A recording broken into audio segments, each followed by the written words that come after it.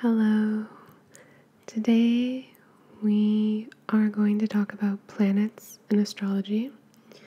So, if you've ever done your birth chart or your natal chart, you know that planets and their placement um, affects your personality according to astrology.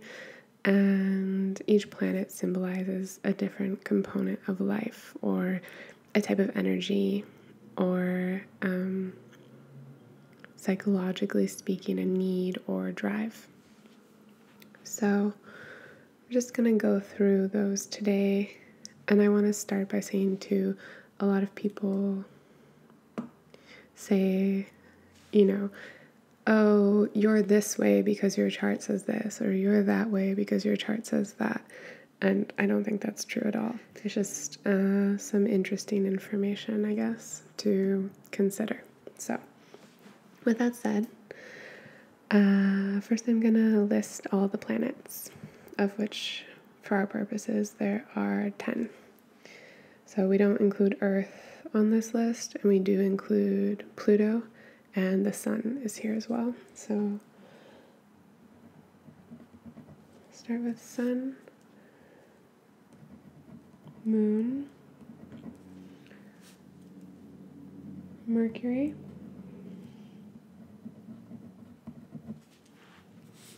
Then we have Venus, Mars,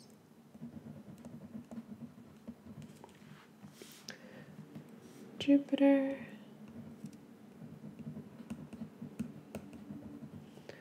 Saturn,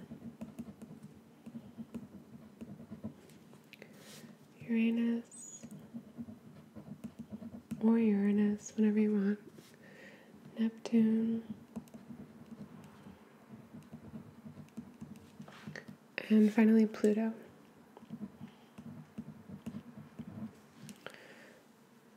And each of these has its own symbol, so I'll add that now and then I'll um, start talking about what each one represents. I think we should title it too, no? Mm.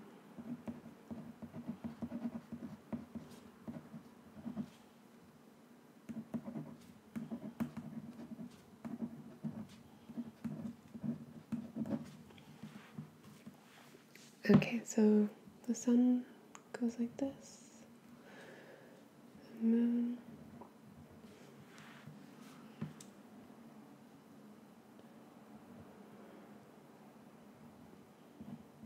Mercury.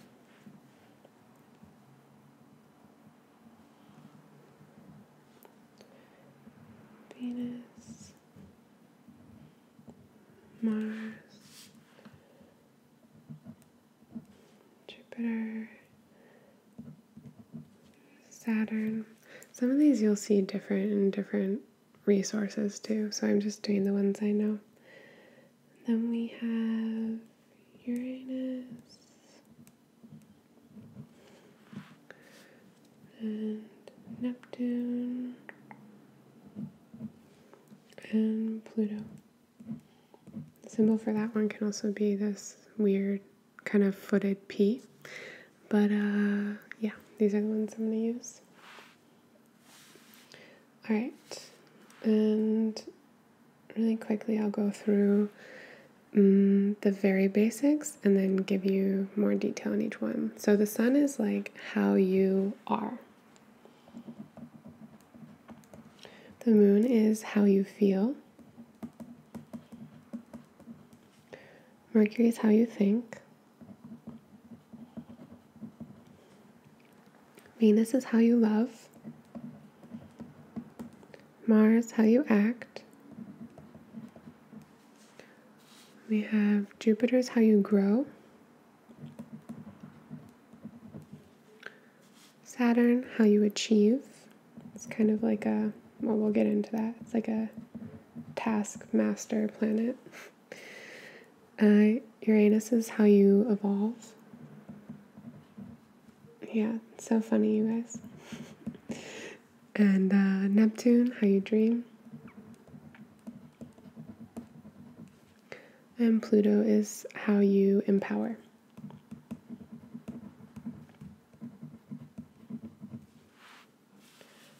Okay.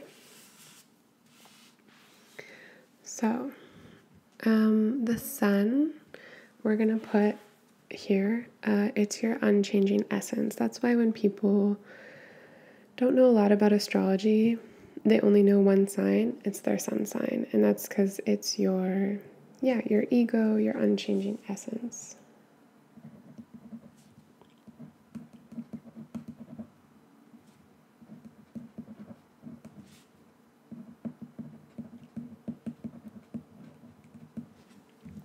So um, it it's what enables you to make decisions in your life and direct your life. It's your core, your fundamental character. And another video of mine I say it's like your boss. It's like the one at the helm. So that's why it's true that if you only know one sign of yours, it should probably be this one. But also important is moon. So moon is your uh, like emotional nature.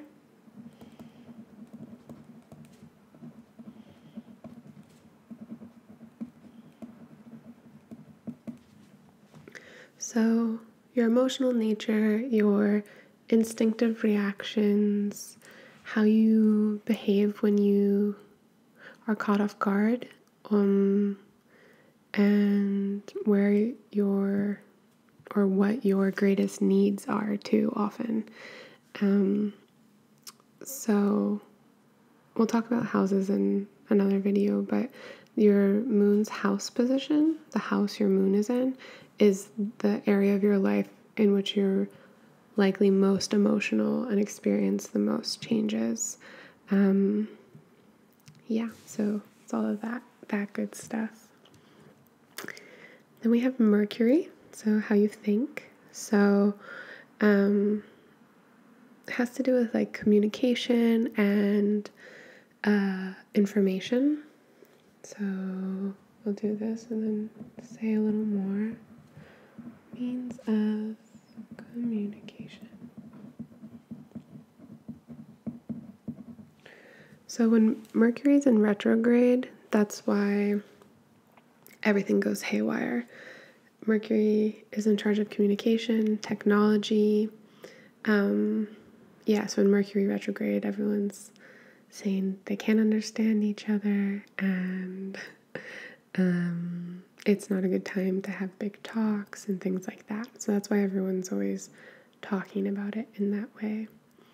Um, so, yeah, it's how you collect, sort, understand, and communicate information um, and also like your style and preferences of communicating and learning.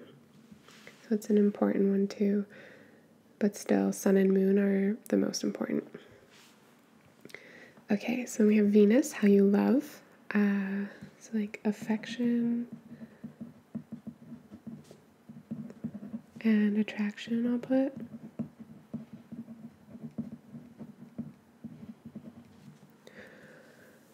So, yeah, how you express affection, how you enjoy the world and its beauty, your capacity to attract, you know, so the manner in which you attract others, um, how you appreciate the world, and just enjoy life, basically.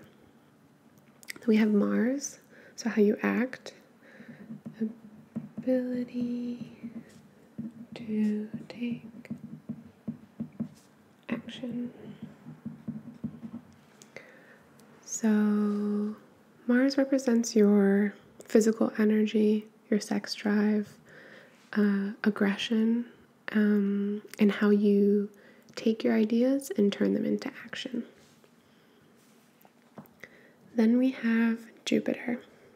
So, it's like expansion, I guess I'll put, but also expansion, but also luck a lot of um, good luck, optimism, success, uh, abundance, and kind of um, philosophical knowledge comes to us from Jupiter. So, Mercury has to do with information for sure, but it's more daily information, uh, like everyday stuff. And Jupiter has to do with um, information that's bigger than the day to day. It's philosophical. It's uh, bigger picture type stuff where you're able to zoom out from yourself.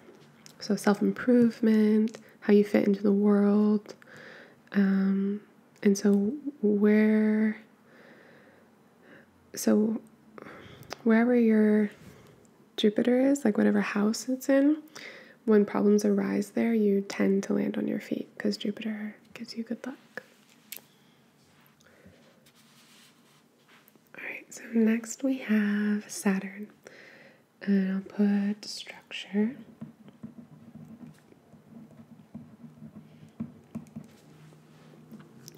So Saturn represents limitations, restrictions, boundaries, um, but you know, safety, practicality, lots of not that fun stuff. Um, but it's good for us. It, when Saturn comes, you know, there's a return of Saturn around when you're 30. Um, and it it calls for you to set foundations in your life for the things that you want to pursue long term. And you, with Saturn, you have to work really hard and prepare a lot. But then in the end, um, that delayed gratification does come, and it's something that is strong and true and um, well built. So it's not fun per se, a fun planet, but it gets us places. Then we have Uranus, Uranus. So I'll put change.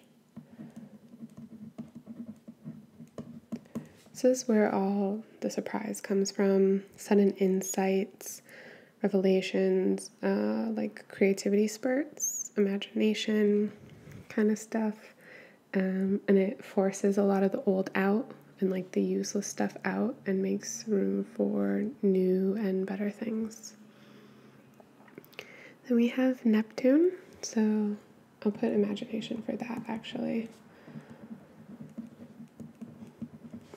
Because, um, like, if this is thinking about new about other realms, like you get a flash of an- another realm in terms of your creativity or a revelation. As I said, Neptune actually is the other realm.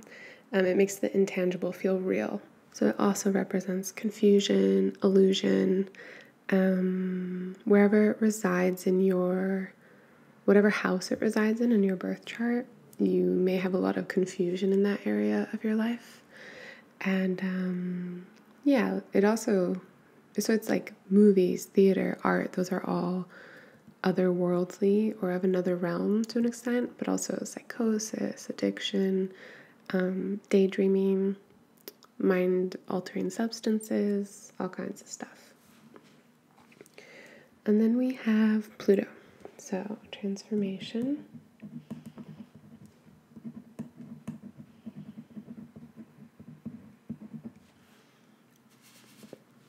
So it's transformation, um, like true upheaval, permanent changes in civilization, even.